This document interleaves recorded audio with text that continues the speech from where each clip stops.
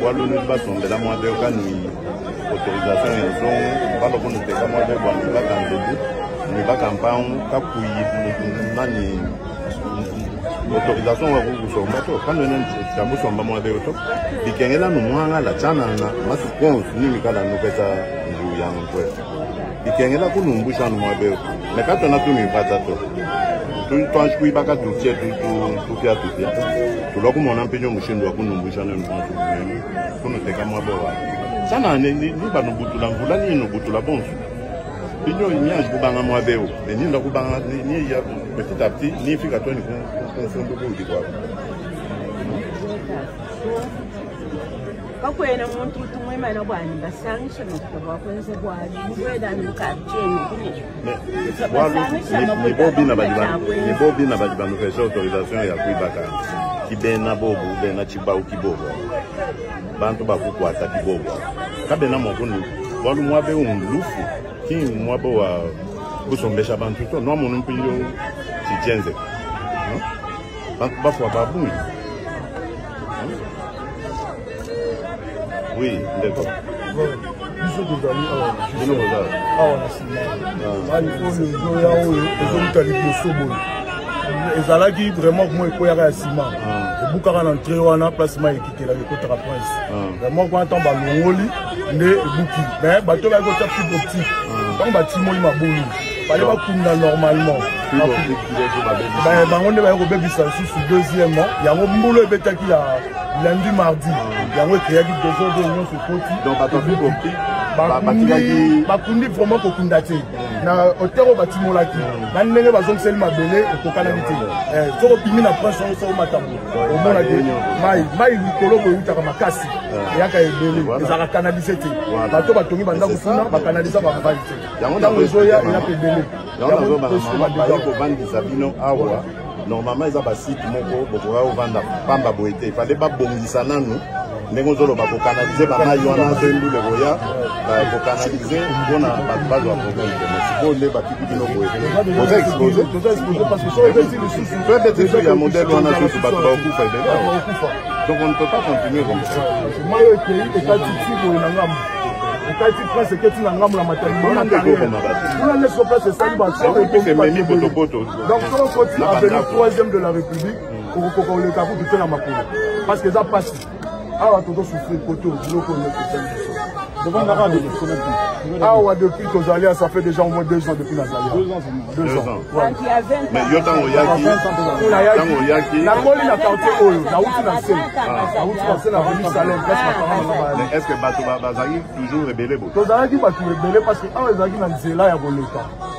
komite ya quartier tofandaki toza kosolola mpona babongisa awa place tobwakaki basalite baya koalfate nzela ezonga lokola aveni ya bato ya likolo boye edwa matete boye esuki loso tokoti boye aveni osuka quelque part aveni noko osukelaodiscute na komite ya quartier mpo tosala yango bongo na mai na makambo ya nzela eloko toza kobundela mai te ekomaki awa baye balekisela biso soki bai quelque part réel problème mpo bato kuna bazwaki te mm. yango bakataki na sens wana mais awa ezalaki fai basala nzela mpo tobundela bamba bon tokolukela yango mayele ozala me biso ngai eloko ezobangisa ngai reste encore ici oui bambula mosusu eye nazobanga vraiment mama oyo aza na sima wa alors mais nazobanga ke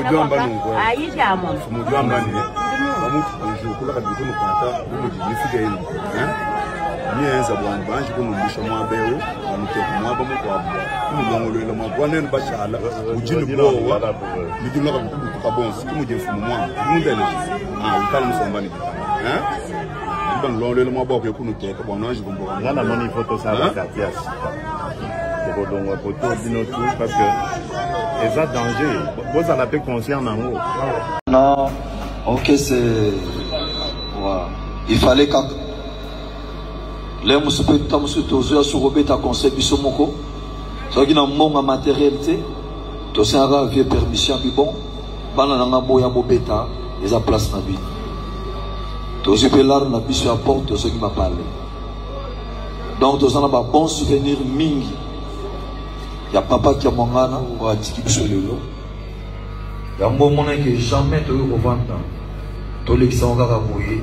sans présence physique na biso lelo alors toza très reconnaissant na oyo oh, nyonso vi asala mpo na biso mpe mpo na baartiste nyonso na rdc lelo na kosenga na baartiste baza mpe reconnaissant na oyo oh, vi asala mpo na bato tout apesa bato bamateriel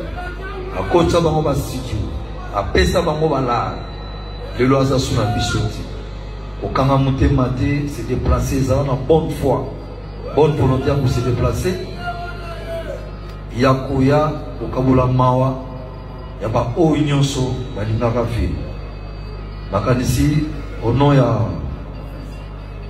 wenge mosika 4 fois 4 bon chikonja mpe na basikrisalo oyo tobengi baoyo wenge bota toza na baponderation ya blaise toza na batonia tonia ya adolphe toza na pcdg ya jb piana toza na yango moko maison mare biso nyonso tokozala ntango kore ekobima tokozala wana vraiment na kosenga na bino nyonso boyeba kaka ke oyo atiki biso azalaki papa na biso encore une fois merci beaucoup na présence na bino ndenge boye nyonso esika moko epuis toza mpe bongo na producteur na biso